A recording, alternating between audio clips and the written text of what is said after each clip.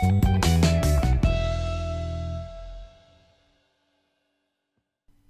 welcome to High School Physics Explained and today I want to specifically talk about the optics of the eye. So if you are a physics student you're going to get a better understanding of how light refracts through the eye in order to produce a sharp image. But if you're a biology student you will also get a better understanding of how the eye actually forms an image uh, using the cornea and the lens to ensure a sharp image. Now I've already produced a couple of other videos, one on lenses and one on real images. It's worthwhile watching those before you watch this particular video as I'll refer to some of the content that was covered in those videos. But before we go on, let's have a quick introduction for some uh, and review for others in terms of the anatomy of the eye because that will be really important in the subsequent part of the video.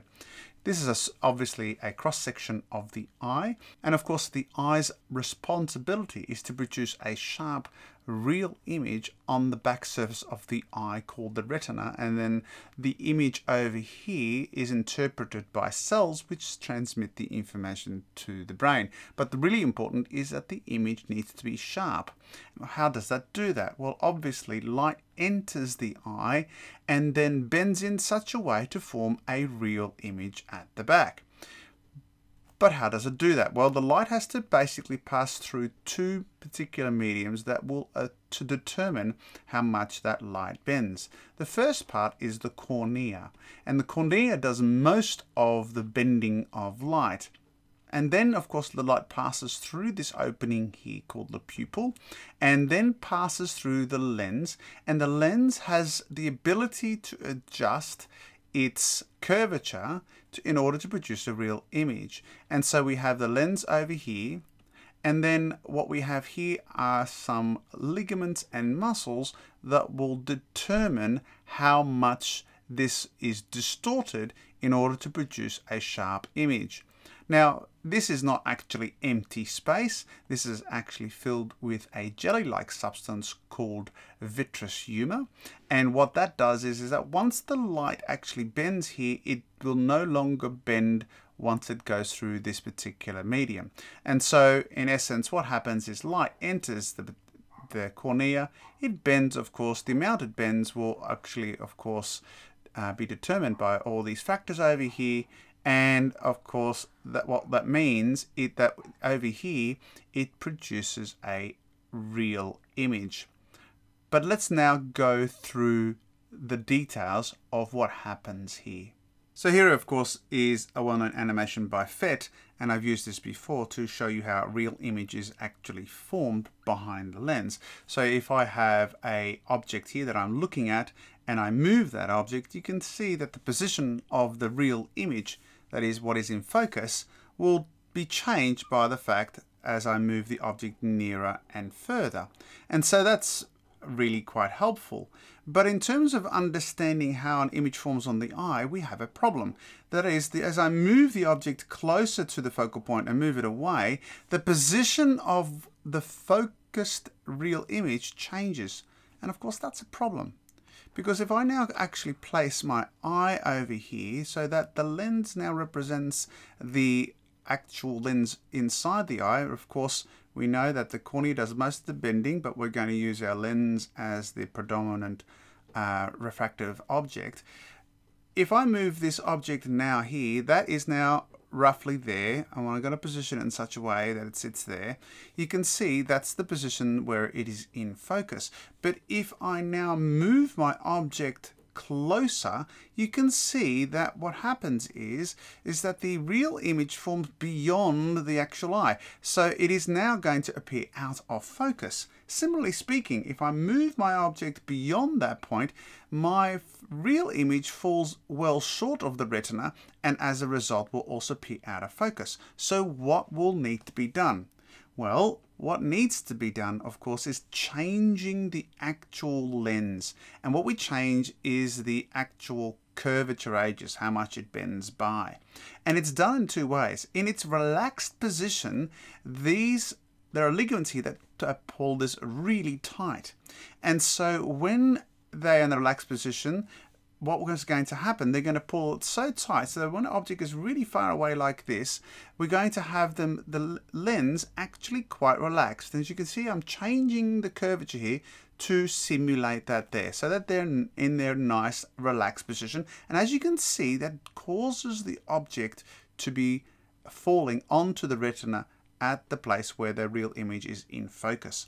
So faraway objects, your lens is in its most relaxed state and the suspensory ligaments here are pulling it tight and you do have muscles involved here and they actually uh, we'll talk about them in a second but they're not being used and so as a result it's in focus.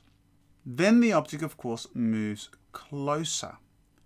Now what happens next? Well as you can see the real image falls beyond and so what now happens is there are muscles that pull they're called ciliary muscles and they cause the curvature to increase and see what happens.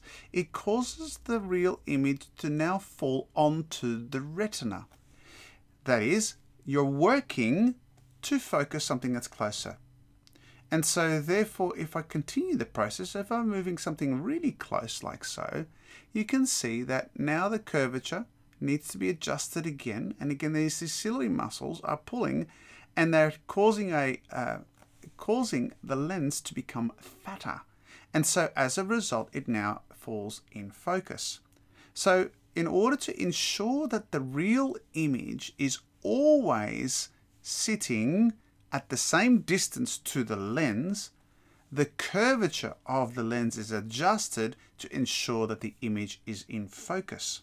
And so that is in essence what causes you to focus, adjusting the lens's curvature to ensure that the real image actually falls onto the retina. Because of course, if the image falls short or falls beyond, the object is out of focus. So what if the case you do actually have the inability to focus? So let's say you have a problem focusing on something that is far away. So here's my object to represent far away. And of course your eyes are naturally in the relaxed state. And so what happens is, is this. You have a situation that your eye can only go that far. The object falls short so what we say is if you have the inabilities, in other words, these this cannot relax any further and it still falls short. So we now call a person such like this short-sighted because the image or the real image falls short of the retina. And as a, as a result, because it cannot relax any further, we can't make this curvature any less so that this falls back onto the back of the retina we, you are short-sighted. And we often refer to this also as myopia, the inability to focus on objects that are far away. So how is that fixed? Well, it's fixed by placing a concave lens in front of the eye. Now, what does that do? Well, what happens, of course, is this, this light diverges and it causes the actual image to diverge out so that the actual point where this focuses is actually a little bit further because of the fact that the lens here actually causes it to diverge. And so it is pushed back over here. And so what will happen of course is is that the object will appear in focus. You can tell that with a person's glasses. If you look at someone's glasses you know from my previous work that the divergent lens or a concave lens will cause a reduction in the size of the object. Have a look someone who is wearing glasses. Does their face appear a little bit smaller through the glasses? Well, they're wearing a concave lens. That tells you straight away that they have problems seeing long distances. And as a result, we say that they're myopic or they are short-sighted. So let's now go on to explain the other alternative. So here we have our, person, and in this case, they have problems seeing something that is close. So this is characteristic of people getting older, and I myself am wearing glasses at the moment, and as a result, I have a situation where I have difficulty focusing on something that's close. So here's my object that is close. And as you can see, in my case, I will I can clearly have a case where my lens has the inability to bend a lot. So my eye may be in this situation and yes I can adjust the curvature a little bit but I can only adjust it to a certain degree. That is these muscles don't work that well and so what happens is I would like this lens to be fatter to have a uh, much uh, greater curvature, but I have the inability to do so, and my real image falls definitely now beyond my retina. So we say I am long-sighted because of the fact that the image drops long. It goes beyond the actual retina. Another name for it is hyperopia, and hyper means beyond, so that's another way of describing it. But what would I need to do to fix it? Now, if you said I need to fix it is that I need to bend the light a little bit more, you are correct. If I now place a convex lens in front of these light rays, what is going to happen now to my light rays? Well, my light rays here will actually bend a little more. And so what happens, instead of appearing up up here, they're going to actually bend more and they're going to appear down here. Similarly speaking, the light rays over here are going to bend more and therefore going to end up over here. The end result is, is that these light rays will now converge to a point over here. So in other words, this pencil will not appear down here, the pencil will appear here, sharp and in focus. And that is because by accentuating the magnification, accentuating the effect of this lens by using a convex lens, I've brought my real image closer. So in essence, what I've done is I have increased it so that it actually moves to this position over here. But rather than my ciliary muscles doing that work, it is this added convex lens that has actually made that possible. And so in this case, I have a convex lens to correct my hyperopia or my long-sightedness.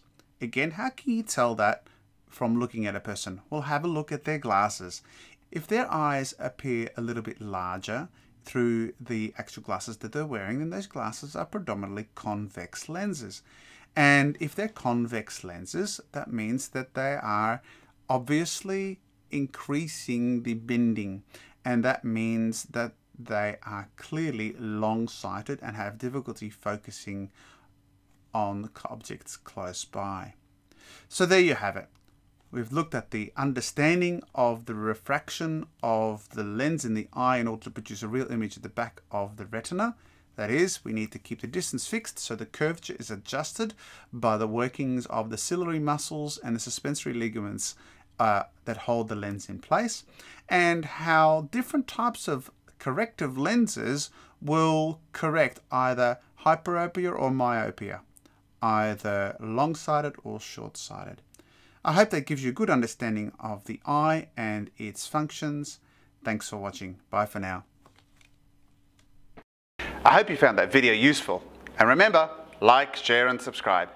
Oh, and if you have a comment or a question, or you'd like a concept for me to explain to you, please drop a comment down below. I'm Paul from High School Physics Explained. Bye for now.